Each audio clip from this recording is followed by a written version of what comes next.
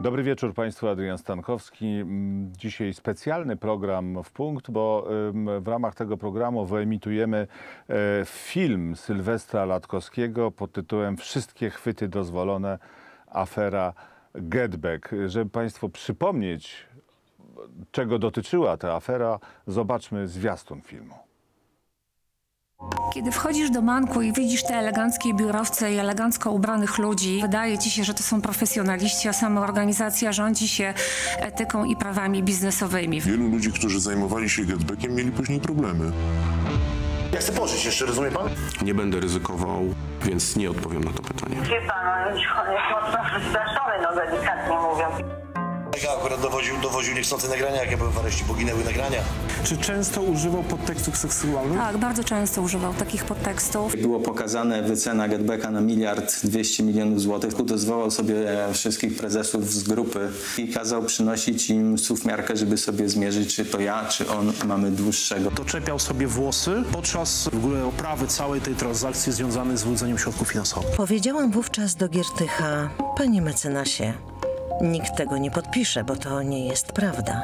A co on odpowiedział, tu nie chodzi o to, co jest prawdą, a co nie.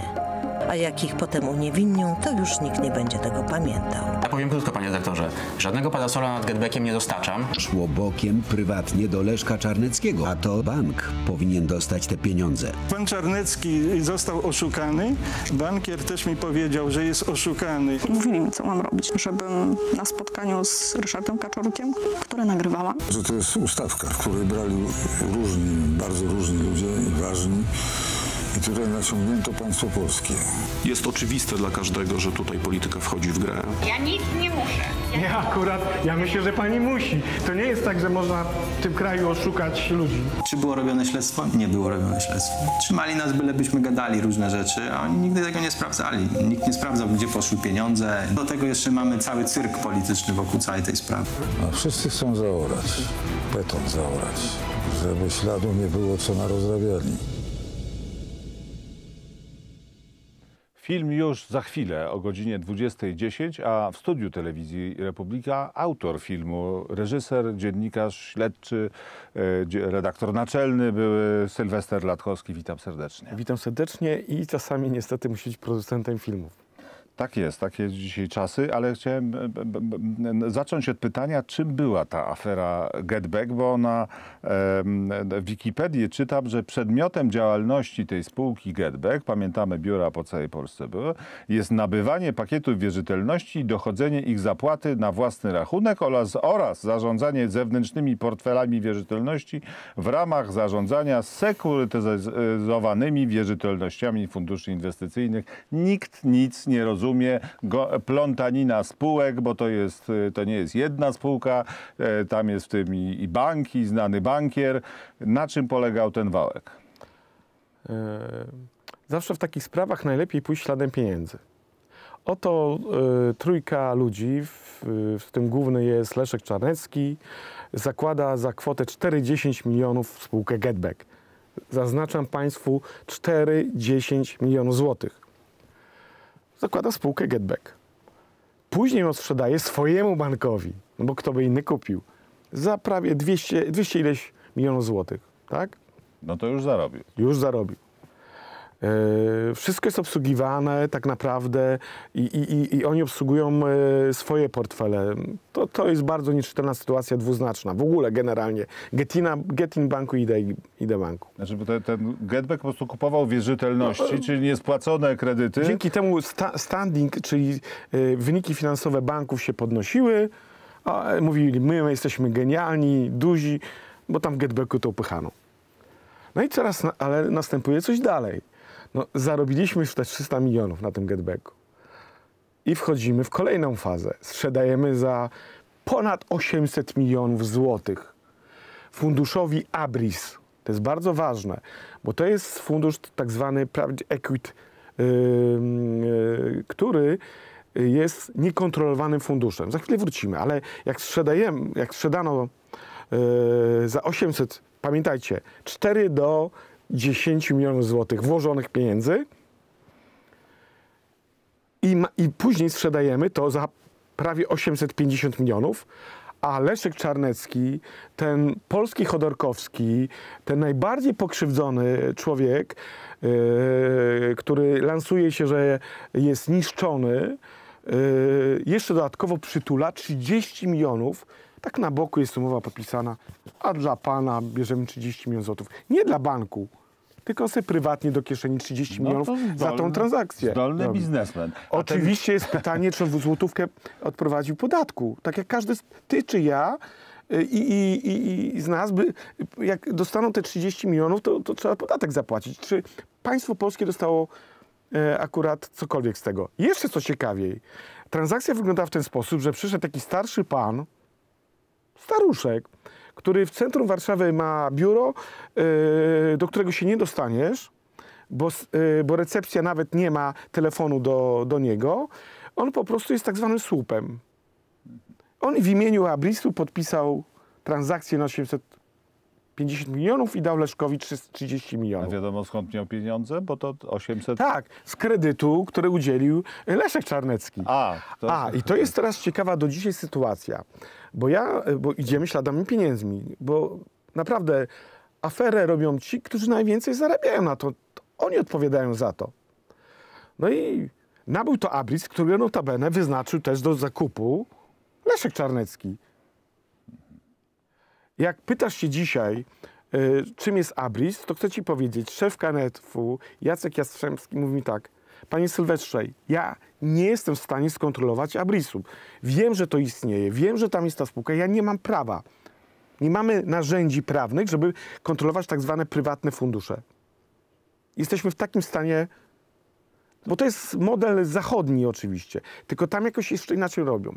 Pytam się prokuratury, czy wy w ogóle wiecie, gdzie są pieniądze i czy w ogóle wiecie, kto stoi za Abris? Bo może stoi Leszek Czarnecki, może ty stoisz, e, e, może Iksiński. My jesteśmy tak naprawdę takim dzikim zachodem e, dla świata bankowości. Wynika to z tego, że my jesteśmy no, krajem, który no, transformację to jest kilkadziesiąt lat. Trzeba też to, rozumieć. Jeżeli pozwolisz, to do tego wrócimy, bo e, rzeczywiście tych afer takich podobnych było... No, No ale wiesz, ale jak, jak em, wchodzisz na przykład później do tej firmy, do tej funduszu Abris i słyszysz, że o nic się nie muszą tłumaczyć z największej afery, no to trochę chyba coś nie tak. Dobrze, tylko chciałem do tego KNF-u dojść, bo to jest e, grudzień e, 2017 roku. Sygnalista e, sygnalizuje KNF-owi, że tam są jakieś nieprawidłowości w, w, w, w Getbacku, który właśnie sprzedaje swoje akcje na giełdzie. Bądźmy szczerzy, było więcej sygnalistów. Ale od tego się zaczęło. Było więcej sygnalistów, od tego się zaczęło. A tak naprawdę się jeszcze zaczęło, że służby też posiadały tę informację. To jest może w ogóle taki, taki moment, którym trzeba sobie jasno powiedzieć, że była afera GetB, e, Amber Gold, o którym też zrobiłem film i tam miano wyciągnąć wnioski. I tam strat, przepraszam, żebyśmy też e, o pieniądzach... Kilkaset milionów złotych. Tam około miliarda, poniżej O, 800 no, milionów. dokładnie. A tutaj strat oficjalnie powyżej 3 miliardów, ale ludzie mówią, że naprawdę jest więcej, tylko te grubsze fundusze, które po- kupowały te pieniądze, utopiły w tych innych swoich, rozwodniły tę sprawę. Ale oficjalnie jest powyżej 3 miliardów złotych. I ponad 9 tysięcy osób poszkodowanych. Zwykłych ludzi. E, Ludzi, którzy, z nich się w ogóle tak, taka, w ogóle przyjęto taką strategię, że ich zaczęto nazywać hazardzistami. No przecież nie musiałeś brać tych papierów, mówią. Bo ludzie kupowali w bankach notabene pana y, kontrolowanych przez pana Leszka Nie Czarneckiego, tylko. czyli Idea. Banku tak, i, domach Getin Bank. maklerskich innych i tak samo, w nie, tak samo w państwowych bankach, żebyśmy też byli uczciwi. Mhm. Tak? Tylko jak idziesz y, cash flow, to nie wymyślono to w państwowych bankach y, Getbacka, tylko wymyślono to u Leszka Czarneckiego. Bo dzisiaj strategia też obrony y, te, Leszka Czarneckiego jest taka, że ale też są inne państwowe podmioty. To jest taka strategia obrony, tak? Zresztą mm, tą strategię obrony Leszka Czarneckiego wymyślił Roman Giertych. On przyszedł i powiedział tak do zarządu. Macie podpisać takie, a nie inne uchwały Rady Nadzorczej i tak dalej, i tak dalej. Za to od razu pierwszą, przyszedł w ogóle z pierwszą fakturą na kilkaset tysięcy złotych. Później były kolejne. Nie będę mówił jakie kwoty, ponieważ nie mam tam tych faktur. O tej jednej fakturze wiem.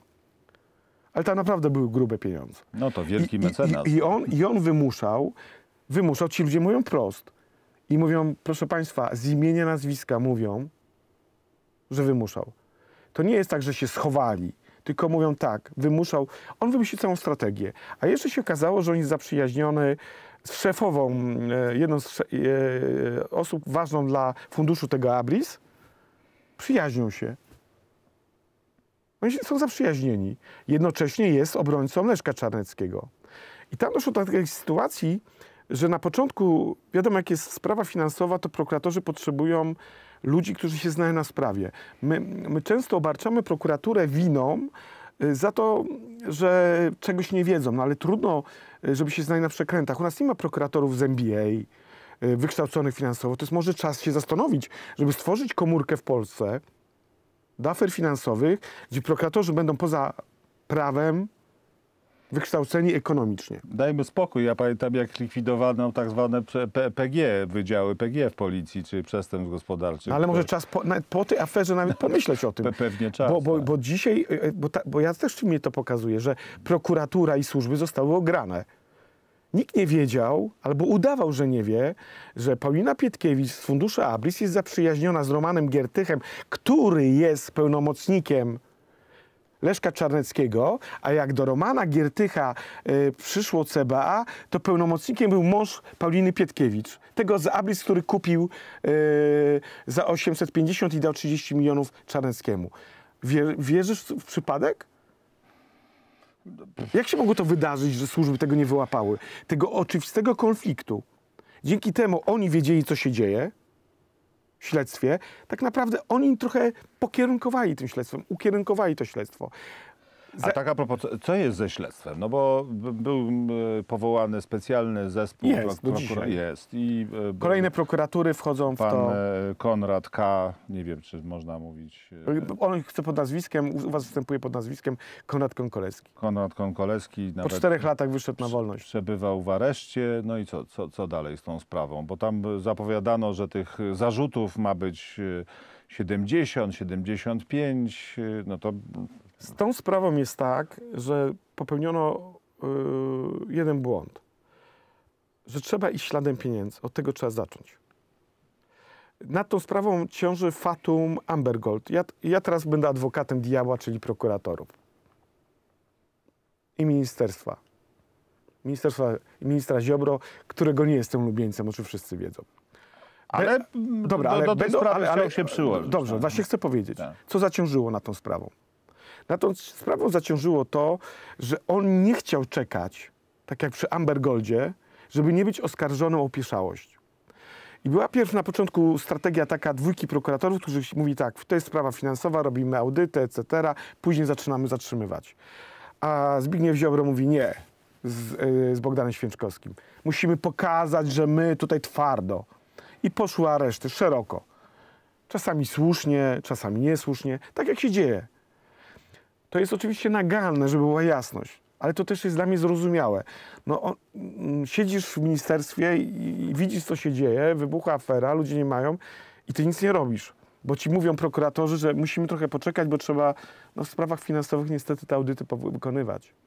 I wtedy się pojawia Roman Giertyk ze swoją strategią, która wymyśla, że pan Czarnecki jest poszkodowany i wszyscy są winni z jego zarządu. On nic nie wiedział, on, on robił tak. Ja nie wiedziałem, co się dzieje. Mnie oszukano, tak? Pani Paulina Pietkiewicz zaprzyjaźniona z Romanem Giertychem, który ustawiał z Leszkiem Czarneckim strategię, yy, współpracuje z prokuraturą. Każdy i ze służbami, każdy przyjmuje to, no bo ta sprawa jest trudna. Ta materia, jak sam czytałeś, jest trudną materią.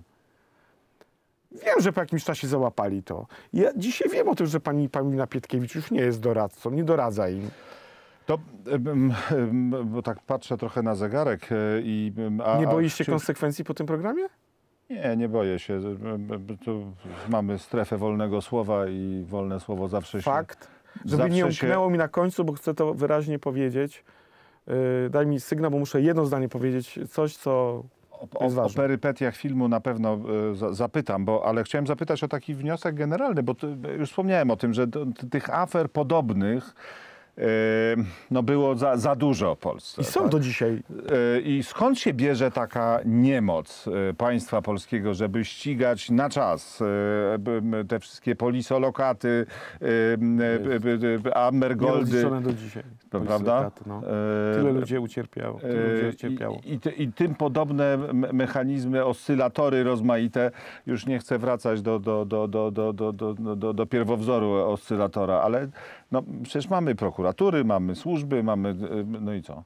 Bo mamy świat bankierów, finansistów, którzy po prostu mają grube portfele, mają sztaby prawników, najlepsze kancelarie światowe i przeciwko nim mamy prokuratorów, ludzi służb, którzy tak naprawdę nie rozumieją rynku finansowego, ponieważ mm, my nie jesteśmy Stanami Zjednoczonymi, Anglią, gdzie lata nauczyły ich afer. My się, ci, ci ludzie uczą. No w Stanach Zjednoczonych takie afery kończą się I to szybko. 200 lat wyrok, ale, ale, ale 200 i to lat szybko i to więzienia, bo nie tak? ma dyskusji, Tak, szybko. tak. I to szybko się kończą. Tam, tam nie ma w ogóle y, lat.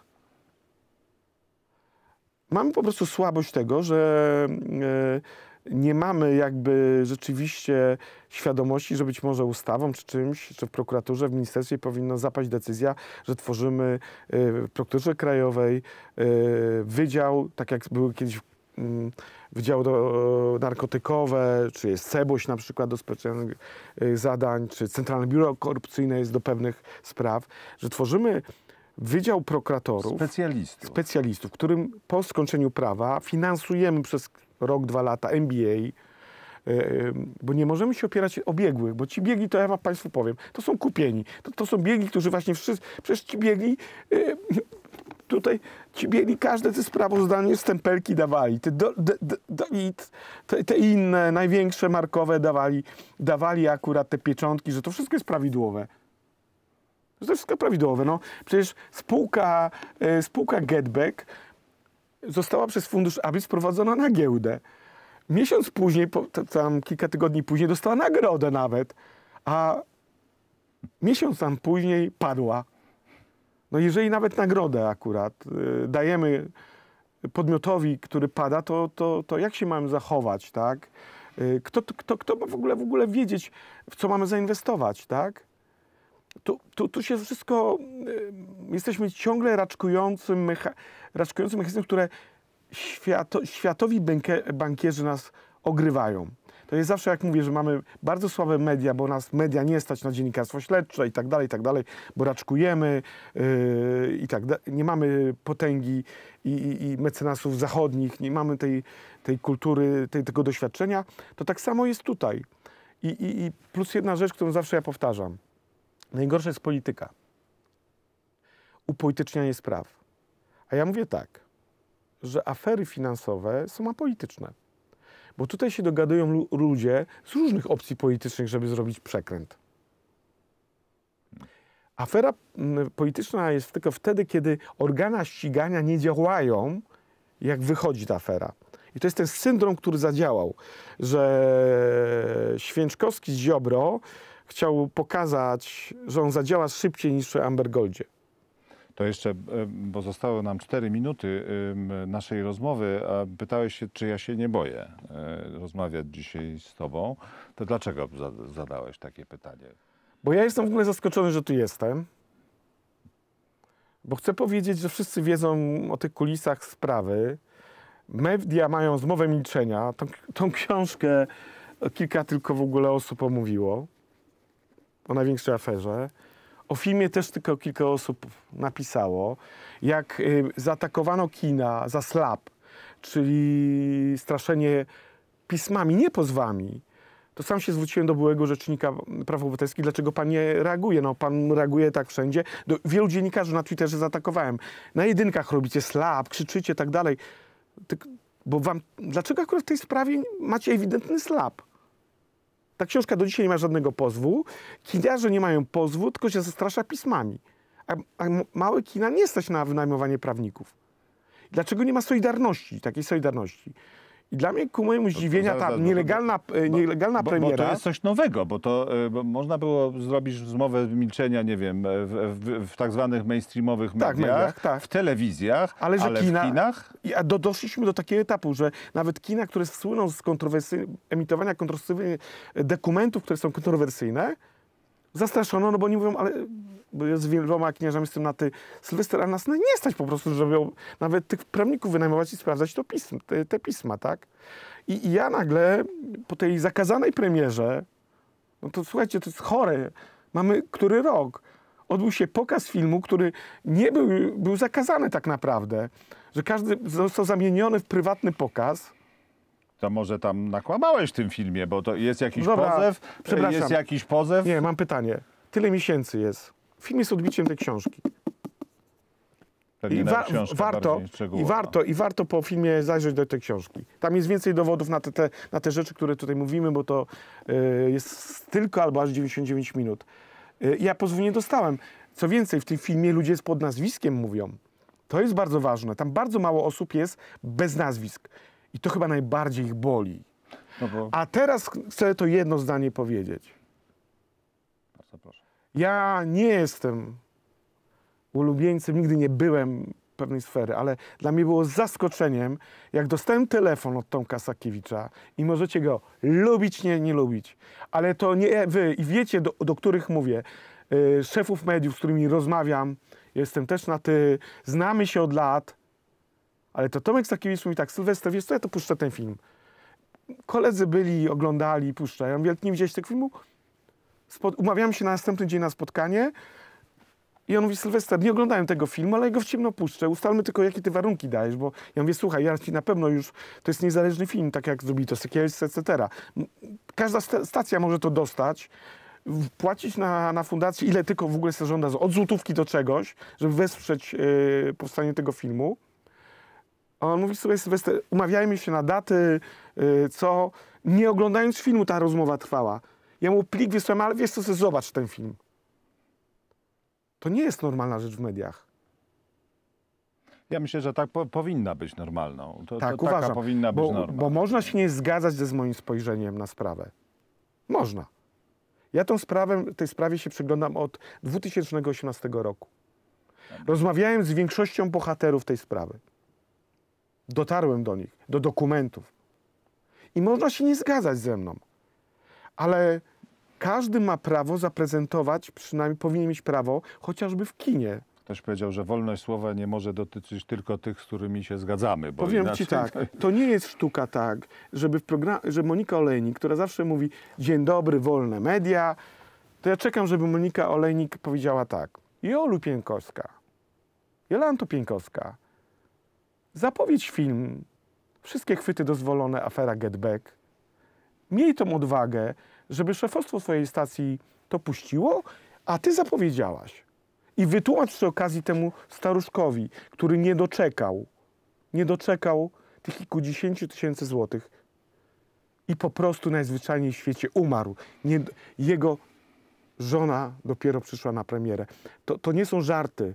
Ten człowiek to nie był hazardzista, nie lokował jakieś przedsięwzięcia. To jest człowiek twórca, rysownik, yy, wolnego zawodu. Zainwestował pieniądze, żeby mieć na starość, na chorobę. Nie doczekał oddania pieniędzy. Pisał do, między innymi do, do Fundacji Jolanty Pieńkowskiej i Leszka Czarneckiego. Nie, to są bardzo ważne rzeczy, bo to są ludzie, którzy tworzą jakieś tam y, wielkie fundacje, gale, udają y, wielkich, prowadzą programy. To ja mam, ja mam jedną rzecz. Trochę,